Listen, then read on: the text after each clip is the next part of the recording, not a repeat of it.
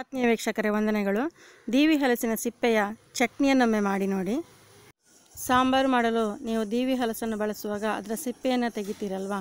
ಆ ಸಿಪ್ಪೆಯನ್ನು ಬಳಸ್ಕೊಂಡು ನಾವು ಇವತ್ತು ರುಚಿಕರವಾದಂಥ ಒಂದು ಚಟ್ನಿಯನ್ನು ಮಾಡುವ. ಇದು ಒಂದು ಸಾಂಪ್ರದಾಯಿಕ ಅಡುಗೆ ಕೂಡ. ಹೌದು.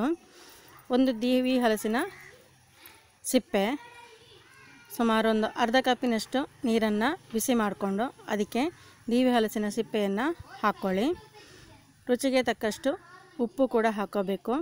ಹಾಗೆ ಬೆಳ್ಳುಳ್ಳಿ ಎಸಲು ನಾಲ್ಕರಿಂದ ಐದು. ಎರಡು ನೆಲಕಡಲೆ ಗಾತ್ರದ ಹುಣಸೆ ಹಣ್ಣು. ಹಾಗೆ ಖಾರಕ್ಕೆ ತಕ್ಕಷ್ಟು ಹಸಿಮೆಣಸಿನ್ಕಾಯಿ. ನಾನಿಲ್ಲಿ ಎರಡು ಹಸಿಮೆಣಸಿನ್ಕಾಯನ್ನು ಹಾಕ್ಕೊಂಡಿದ್ದೀನಿ ಹಾಗೆ ಅರಿಶಿನದ ಹುಡಿ ಒಂದು ಚಿಟಿಕೆ. ಇದನ್ನು ಚೆನ್ನಾಗಿ ಬೇಯೋಕ್ಕೆ ಬಿಡಿ. ನೀರು ಆರುವ ತನಕ. ನೋಡಿ, ಈಗ ಬೆಂದಿದೆ. ಚೆನ್ನಾಗಿ ಬೆಂದ ಮೇಲೆ ಇದನ್ನೀಗ ನಾವು ಗ್ಯಾಸ್ ಆಫ್ ಮಾಡ್ಕೊಳ್ಳೋಣ. ಸ್ವಲ್ಪ ಆರೋಕ್ಕೆ ಬಿಡೋಣ.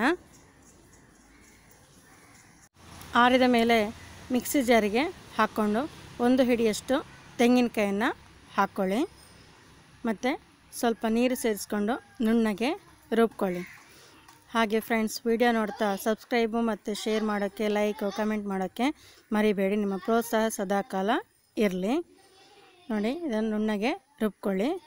ರುಬ್ಬಿದ ಮಿಶ್ರಣವನ್ನು ಪಾತ್ರೆಗೆ ಹಾಕ್ಕೊಂಡು ಮೇಲಿನಿಂದ ಒಂದು ಒಗ್ಗರಣೆಯನ್ನು ಹಾಕಿ ರುಚಿಕರವಾದಂಥ ಚಟ್ನಿ ರೆಡಿಯಾಯಿತು ಬಿಸಿ ಅನ್ನದ ಜೊತೆ ಕಲಸ್ಕೊಂಡು ತಿನ್ನೋಕ್ಕೆ ತುಂಬಾ ಟೇಸ್ಟಿಯಾಗಿರುತ್ತೆ ನೀವು ಟ್ರೈ ಮಾಡಿ. ನಮ್ಮ ಅಜ್ಜಿ, ನಮ್ಮಮ್ಮ ಎಲ್ಲರೂ ಈ ಅಡುಗೆನ ಮಾಡ್ತಾರೆ. ಅದನ್ನೇ ನಾವು ನಿಮಗೆ ಮಾಡಿ ತೋರಿಸಿದ್ದು. ನೀವು ಟ್ರೈ ಮಾಡಿ ಫ್ರೆಂಡ್ಸ್. ಧನ್ಯವಾದಗಳು.